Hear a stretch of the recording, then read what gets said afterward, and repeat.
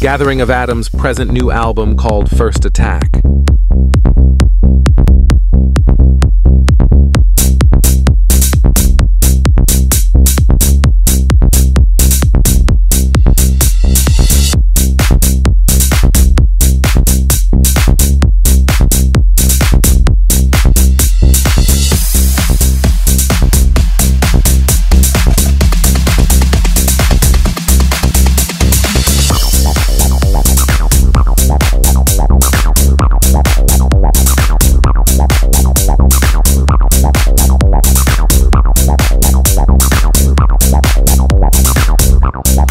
Bye.